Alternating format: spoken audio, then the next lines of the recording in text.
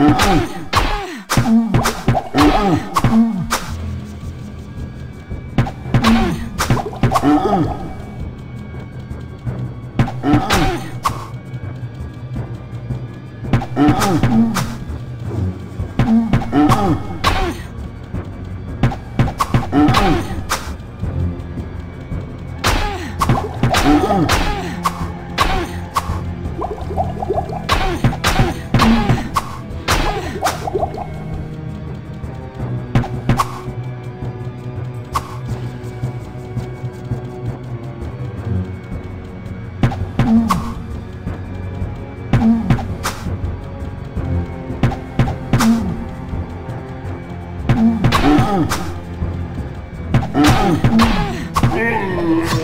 The spirits of the dead are now avenged.